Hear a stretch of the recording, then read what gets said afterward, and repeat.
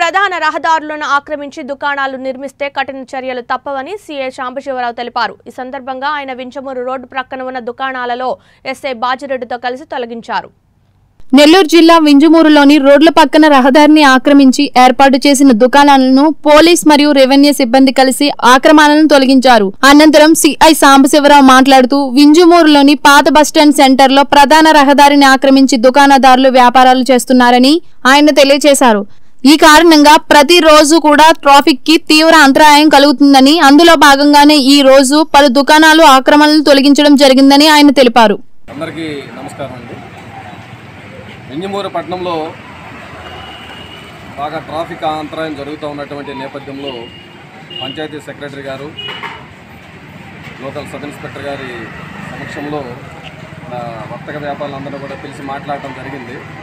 So ఎవరైతే బాగా encourage అయిపోయారో వాళ్ళని కొంతవరకు దాదాపు ఒక నాలుగైదు గజాలు కంప్లీట్గా వెనకపోయే విధంగా వాళ్ళ ఇంట్రెస్ట్తో వాళ్ళే వెనకపోయే విధంగా వాళ్ళని కౌన్సిలింగ్ చేసి ఒప్పించడం అనేది జరిగింది ఈ నేపథ్యంలో భాగంగానే మిగతా షాపులు అయితే కొంతమంది పర్మనెంట్గా అరుగులు కట్టేసుకొని ఉన్నారు.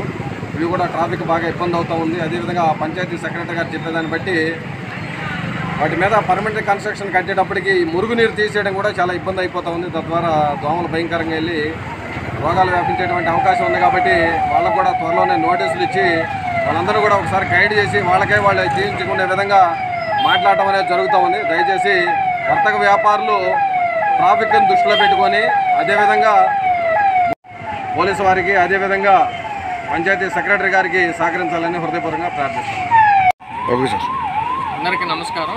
ఇంజమూరు గ్రామ పంచాయతీలోని మెయిన్ రోడ్లో ఏదైతే డ్రైన్స్ ఉన్నాయో వాటిని పూర్తిగా ఆక్రమించి దానిపైన కట్టడాలు కట్టడం జరిగింది.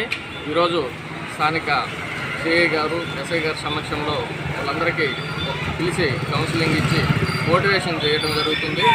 ఈ కాలువలు పూడు పూడిపోయినందువల్ల బాగా శానిటేషన్ ప్రాబ్లము అంటువ్యాధులు కరోనా వ్యాధి విస్తరంగా ఉన్న నేపథ్యంలో వ్యాపారస్తులు కానీ సహకరిస్తే ఆ కాలువలు పూడికి తీయడం నీరు సాపేకపోయేదానికి ఎలాంటి ఇబ్బంది లేకుండా పంచాయతీ తరఫున క్లీన్ చేయడం జరుగుతుంది.